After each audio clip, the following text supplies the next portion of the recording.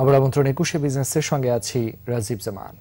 প্রিয় দর্শক, দেশের ব্যবসা, বাণিজ্য, অর্থনীতি ও শেয়ার বাজারের সর্বশেষ তথ্য, স্বয়ংক্রিয় গ্রাফিক্স পদ্ধতিতে পরিবেশন করছে একুশে বিজনেস দর্শক, আপনারা জানেন, ঢাকা ও চিরগং স্টক এক্সচেঞ্জ আমাদের দুজন প্রতিনিধি রয়েছেন ডিসি আছেন রহমান রন এবং সিসি আছেন রাজির রহমান। চলে যাচ্ছে তাদের কাছে।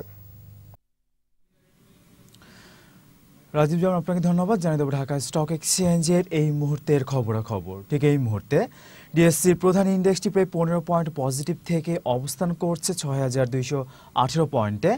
লেনদেনের পরিমাণ ছাড়িয়েছে সাতশো উনচল্লিশ কোটি টাকা। লেনদেন হওয়ার প্রতিষ্ঠানগুলোর মধ্যে দর হারিয়েছে একশো তেরোটি, সেখানে বৃদ্ধি পেয়েছে একশো ষাটটি। ঠিক এই মুহূর্তে সেক্টরাইজ মুভমেন্টে দেখা যাচ্ছে, ব্যাংকিং খাতে দর হারিয়েছে পাঁচটি, সেখানে বৃদ্ধি পেয়েছে উনিশটি।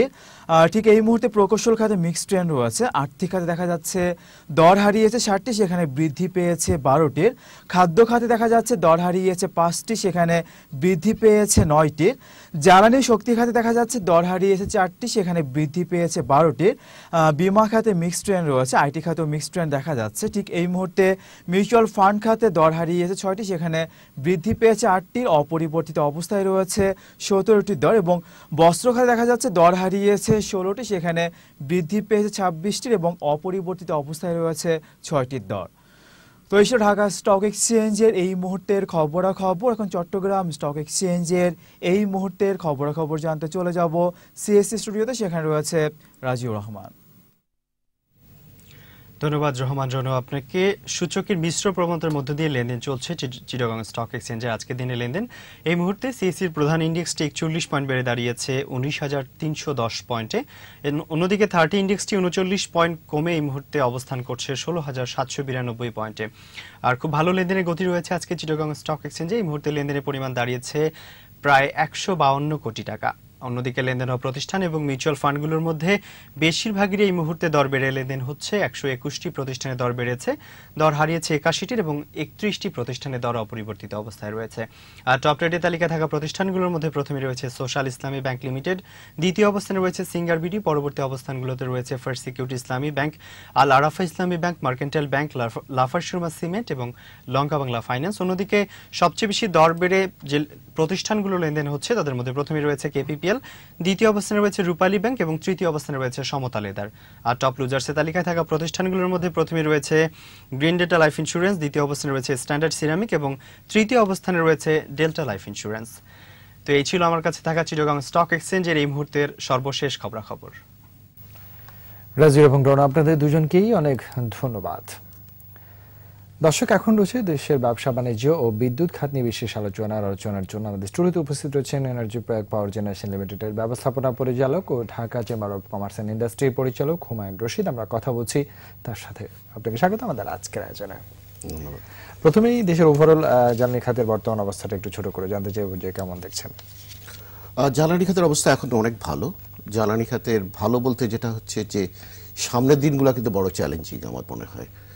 যদি আপনি ধরেন দু সাল পর্যন্ত যে পরিমাণ ইন্ডাস্ট্রিয়াল গ্রোথ আছে সে পরিমাণ ইন্ডাস্ট্রিয়াল গ্রোথকে মিট করতে হলে যে পরিমাণ এনার্জি রিকোয়ারমেন্টস আছে সেইটাই হচ্ছে বড় চ্যালেঞ্জ যেটা আজকে অ্যাড্রেস করতে হবে। আচ্ছা আচ্ছা। ধরেন গ্যাস সেক্টরে গ্যাস সেক্টরে কিন্তু এবছরে এর ভিতরে কোনো গ্যাস ফিল্ড এক্সপ্লোর হয় নাই ডেভেলপড হয় নাই।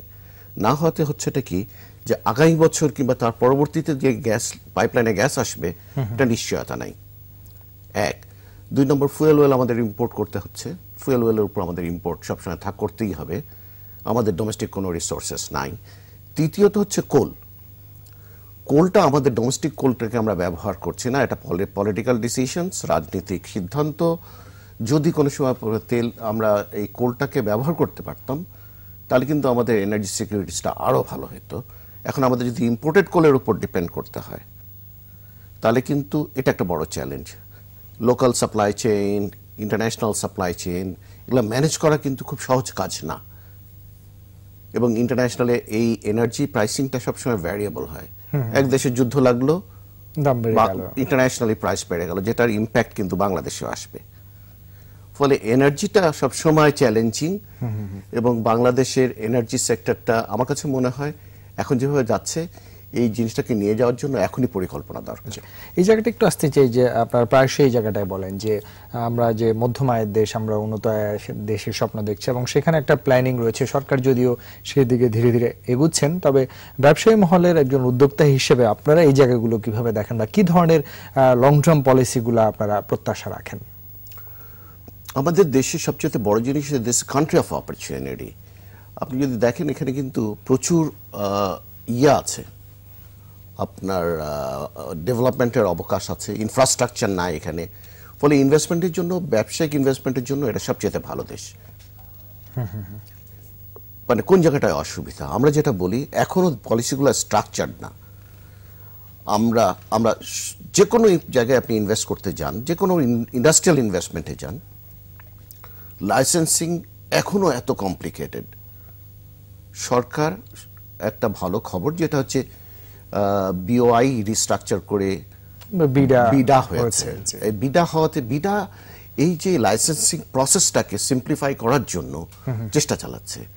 আমাদের ওয়ান স্টপ সার্ভিসেস আজ পর্যন্ত অ্যাক্টিভেট হয় নাই। দুঃখজনক। আজকেও লাইসেন্স পেতে হলে কতগুলো অফিসে যেতে হয় কত দিন যে সময় নষ্ট হয়। মজার ব্যাপার আমি আপনার সাথে একটু শেয়ার করি।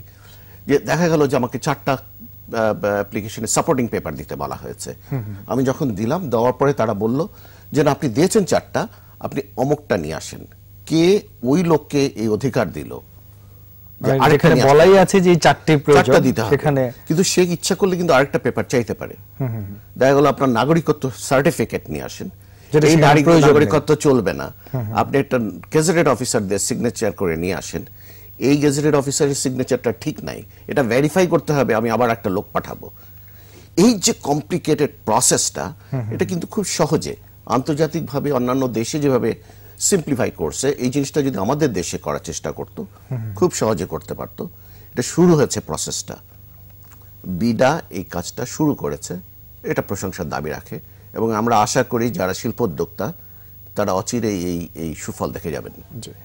আমি একটু জ্বালানি খাতে যেতে চাই যে এই যে আপনি বলছিলেন যে বিনিয়োগের জায়গাটায় আপনারা শঙ্কিত থাকেন যে আমি আগামী বছর জ্বালানি কি হবে। সেই জায়গাটায় আসলে যদি একটু যাই যে দীর্ঘমেয়াদে আপনি বলছিলেন কয়লার কথা এনজির কথাও আসছে এই জায়গাগুলো আসলে আপনারা কি প্রত্যাশা করেন?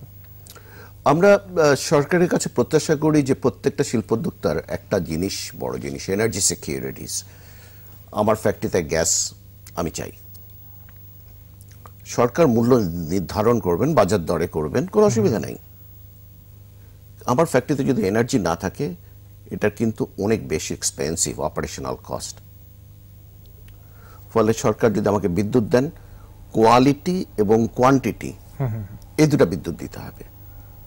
আমি চারশো ধরেন পনেরো ভোল্টে আমি অপারেট করি। আমাকে যদি দুইশো পনেরো ভোল্টে বিদ্যুৎ দেন আমার কার্যক্রম চালানো মুশকিল আমার কিন্তু এখন পিএলসি অপারেটেড মেশিনস আমি কিন্তু আগের যুগের মেশিনে অপারেট করি না। জি জি। আমার প্রত্যেকটা মেশিন প্রোগ্রামেবল প্রত্যেকটা মেশিনের ভিতরে লজিক কন্ট্রোলড আছে সফটওয়্যার আছে। এই ভ্যারিয়েবল ভোল্টেজ যদি থাকে ভ্যারিয়েবল ফ্রিকোয়েন্সি যদি থাকে তাহলে কিন্তু আমি আমার মেশিন অপারেট করতে পারব না। সরকারকে এটাও কিন্তু লক্ষ্য রাখতে হবে। শুধুমাত্র শুধু বিদ্যুৎ সংযোগ দিলাম সেটা কিন্তু হবে না। সেখানে কোয়ালিটি বিদ্যুৎ পর্যাপ্ত রয়েছে কিনা সেই জায়গাটা। আমি বিদ্যুৎ খাত নিয়ে যেহেতু আলোচনা আসলো বিদ্যুৎ খাতের ক্যাপাসিটি বাড়ছে কিন্তু ক্যাপাসিটি বিল্ড আপ বা এই জায়গাগুলোই এই যে আপনি বলছিলেন কোয়ালিটি বিদ্যুৎ এই জায়গাগুলো আসলে কতটুকু অগ্রগতি দেখছেন? আপনি যদি ধরেন গত চল্লিশ বছরের ইতিহাস চল্লিশ বছরে কিন্তু অনেক ইমপ্রুভ করছে। দশ বছর করে যদি আপনি ভাগ করেন মানে চারটা টার্ম যদি করেন এগারো বছর করে তো এগারো বছর করে টার্ম করলে আপনাকে যেটা দাঁড়ায় প্রতি এগারো বছরে যে পরিমাণ ইমপ্রুভ করছে গত এগারো বছরে কিন্তু সবচেয়ে বেশি ইমপ্রুভ করছে। করতে এটা অস্বীকার করার কোনো কোনো উপায় নেই। শুধু এই এগারোটা বছর যদি যে পরিমাণ ইয়া হয়েছে এটা জেনারেশনে খুব ভালো করেছে। কিন্তু ট্রান্সমিশন ডিস্ট্রিবিউশনটা আনুপাতিকভাবে ইমপ্রুভ করে নাই। এই ট্রান্সমিশন ডিস্ট্রিবিউশন কিন্তু বাংলাদেশের ডোমেস্টিক ক্যাপাসিটি অনেক বিল্ড আপ হয়েছে। অনেক বিল্ড আপ হয়েছে। আজকে বাংলাদেশে টু থার্টি কেভি সিস্টেম ভোল্টেজের ট্রান্সফর্মার তৈরি হয়। বাংলাদেশে আজকে hundred and twenty MVA transformer তৈরি হয়। যেটা আগে আমার পুরোপুরি আমদানি নির্ভর যেটা পুরোপুরি আগে আমদানি নির্ভর ছিল। আজকে যখনই আমি ডোমেস্টিক ট্রান্সফর্মার কিংবা সুইচ গিয়ার কিংবা control panel metering panel instrumentations কিনতেছি অ্যাডভান্টেজটা কি? আমি বেটার ওয়ারেন্টি পাচ্ছি। আজকে একটা ট্রান্সফর্মার পুড়ে গেলে আমি সাত দিনের রিপ্লেসমেন্ট পাচ্ছি যেটা আমি জার্মানি থেকে যদি ইম্পোর্ট করতাম সাত মাসে কিন্তু সাপেক্ষ ব্যাপার ছিল। সাত মাসের রিপ্লেসমেন্ট আসতো ফরেন কারেন্সির একটা ব্যাপার ছিল ফরেন কারেন্সি এবং সাত মাসে আপনি কোনোভাবে আজকের যে চ্যালেঞ্জিং যুগে সেটার জন্য অপেক্ষা করে সাত থাকা। আউট অফ পাওয়ার থাকতে পারবেন না। জি জি। এই জায়গাগুলো অনেক ইমপ্রুভমেন্ট আছে। আমরা একটা ছোট্ট বিরতি নিয়ে নিই। বিরতির পর আমরা এসে অন্য বিষয়গুলো নিয়ে কথা বলার চেষ্টা করব। দর্শক এবার নিচ্ছে একটা বিরতি ফিরবো আবার অতিথির সঙ্গে আলোচনায়। ততক্ষণ আমাদের সঙ্গেই থাকুন।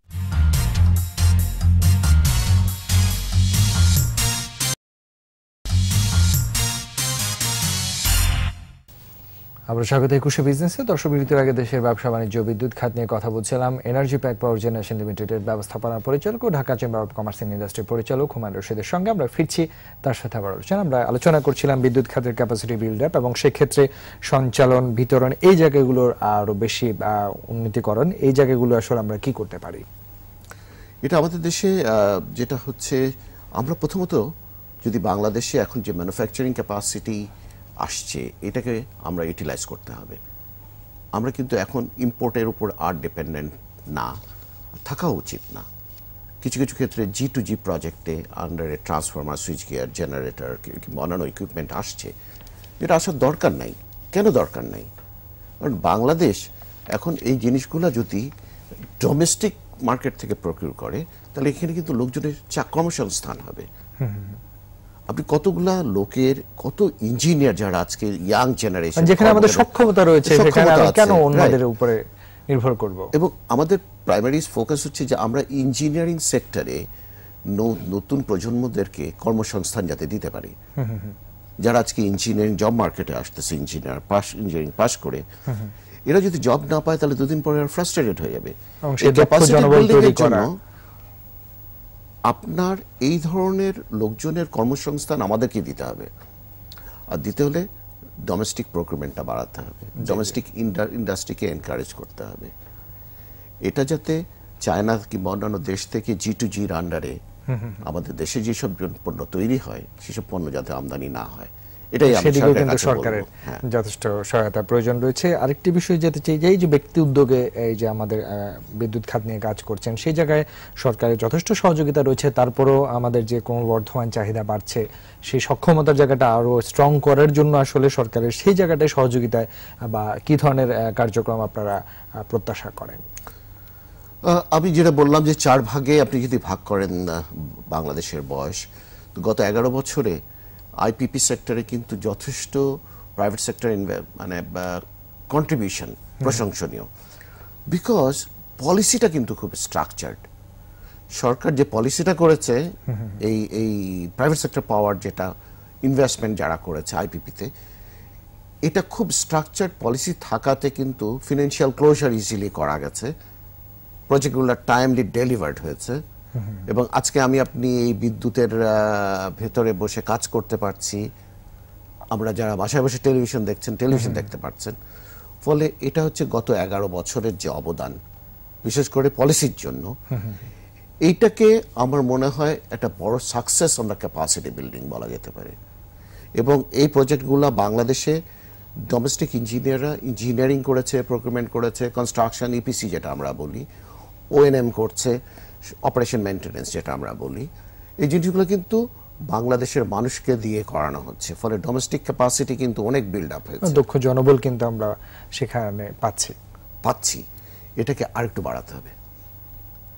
আগামী এগারো বছর না আগামী পাঁচ বছরের ভিতরে আমরা যদি ধরি কিংবা ছ বছরের ভিতরে এই ক্যাপাসিটিটাকে আরও বেশি ইউটিলাইজ করতে হবে। এবং আধুনিক প্রযুক্তি নির্ভর যে ক্যাপাসিটি বিল্ড আপ সেটির দিকেই কিন্তু আমাদের মনোযোগী হওয়া উচিত। এক্স্যাক্টলি আপনি যদি দেখেন যে আমরা এখন দুইশো তিনশো মেগাওয়াট পর্যন্ত ডোমেস্টিক রিসোর্স দিয়ে তৈরি করতে পারি এই ক্যাপাসিটি যদি হয়ে থাকে তাহলে আগামীতে আমরা এই দু হাজার মেগাওয়াট পাওয়ার প্লান্ট কিংবা এক হাজার মেগাওয়াট পাওয়ার প্লান্ট কেন ডোমেস্টিক রিসোর্স দিয়ে বানাবার জন্য চেষ্টা করব না? সরকার ভিশনারি হতে হবে।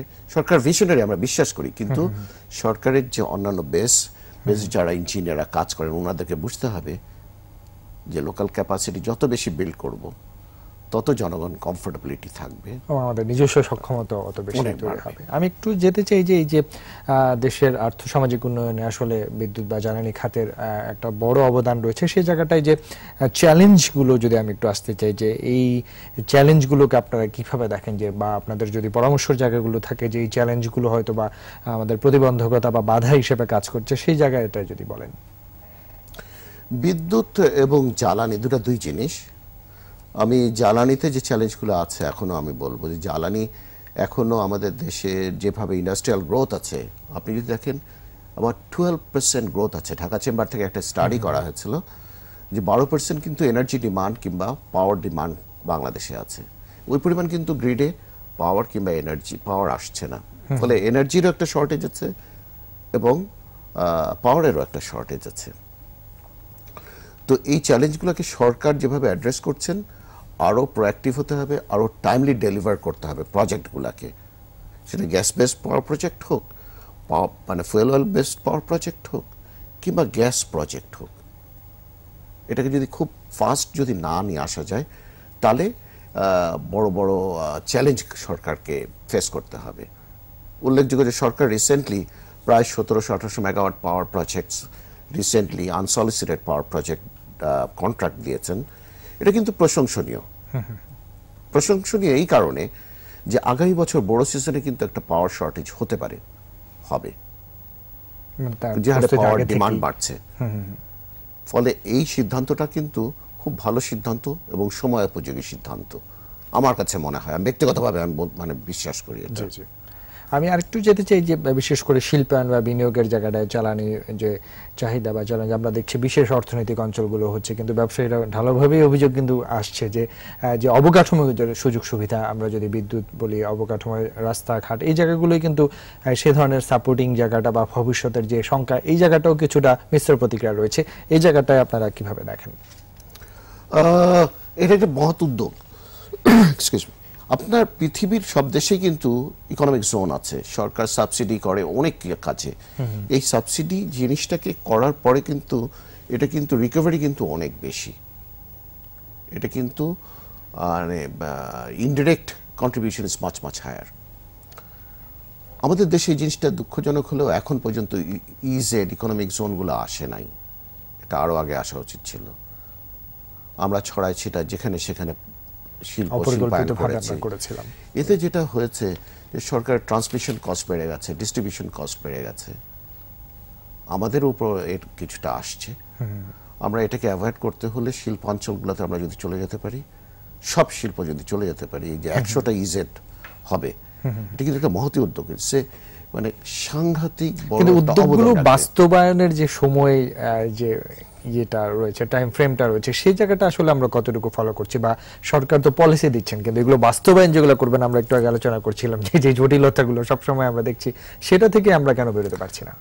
এটার জটিলতা আছে, আমার মনে হয় যারা প্রাইভেট সেক্টরে ইনভেস্ট করছেন ইজেড ইয়াতে ইনভেস্টমেন্ট করছেন ওনারা ফেস করছেন যেটা ইউটিলিটিস কি হবে গ্যাস লাইন থাকবে কিনা, বিদ্যুৎ লাইন থাকবে কিনা, বিদ্যুৎ কে জেনারেট করবে, ওই রাস্তাকে করবে এটা নিয়ে ওনারা কাজ করছেন। আমার মনে হয় অচিরে আমরা কিছু না কিছু ভালো জিনিস পাবো।